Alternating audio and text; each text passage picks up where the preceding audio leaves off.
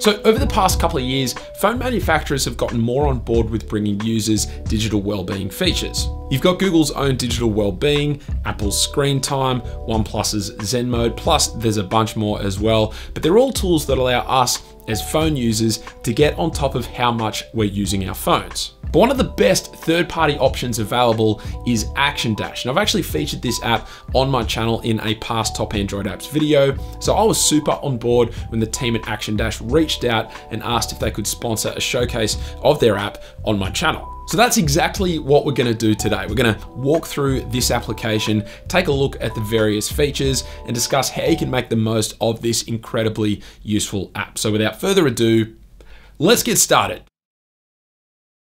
So when you first launch the app, you'll be asked to input your birth year and to agree with the terms of service and the privacy policy. And then you'll need to grant usage access as well by entering the settings and setting this permit usage access toggle to on. This will essentially mean that the app can take a look at all of the usage data that's already stored on your phone, meaning it'll be ready to use straight away. From there, we can head back and now we'll be taken straight into the main menu. So let's take a look at the six different pages we have at the top here. On the far left is our global comparison page, and this provides you with an app by app breakdown of how your usage compares to other users of ActionDash. So if we look at the Instagram app, for example, you can see that my daily average is 20 minutes, whereas globally, other users use Instagram an average of 51 minutes per day. Ironically, my usage of ActionDash has blown well over the global average, so perhaps I need to dial back how often I'm using this app. But then we have our summary page. This is a really useful page with lots of great bars and graphs that, as the name suggests, summarizes all of the important information in an easy to understand way. You can switch between a weekly view or a daily view, but at the top is a graph that shows total screen time so far, the breakdown of which apps have been used the most during that time, and just below that we have how many times we've unlocked the phone and how many notifications we've had in that time period as well. You can also see a really insightful circle chart below that, and this shows the peak periods that you tend to use your phone. And then there's an additional graph below that, which shows what times throughout the day you're more likely to unlock your phone. There's also an app session length breakdown chart below that, which essentially shows you how long you tend to use apps for in one continuous sitting. Super insightful stuff. And right down the bottom of this page are suggestions for how to disconnect and use your phone less based on your usage, but we'll talk more about these in a moment. From there, we have our screen time page, which is just a breakdown of how long you've spent in all of the apps installed on your phone. And then the next page is our app launches page, which shows us how many times we've actually launched into any given app. Second to last is our notifications page, which shows how many notifications have come in on an app by app basis.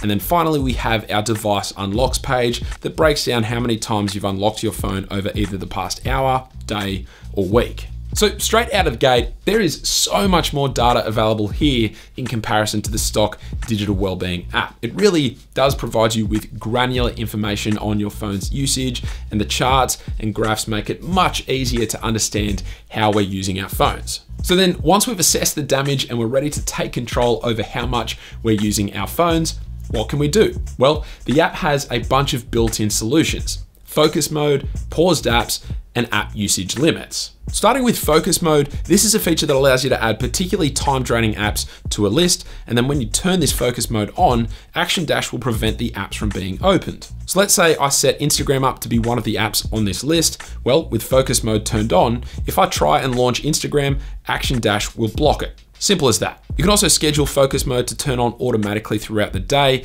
and you can even add a toggle to your quick settings, which means it's really easy to turn this feature on at a pinch. Paused apps mode is a slightly more aggressive version of focus mode where any apps you add to this list will just get blocked for the rest of the day. And finally, app usage limits mode is where you dial in on an app by app basis how long you want to be able to use each app installed on your phone for. So you can preset time durations in five minute intervals. And once you've reached that limit for a particular app, well, then you'll be blocked from using it for the rest of the day. This is a great feature to use if you perhaps know that you might not quite have the self-control to manually activate focus mode or paused apps mode, because if you set this mode up right at the start after you install the app, then it will just kick in for you without you having to manually turn it on or off. Now, when you try to access these blocked apps, you can also choose between two different options for what screen will show up, either your usage stats of that particular app or an animated meme that will hopefully provide a bit of humor whilst blocking the app at the same time.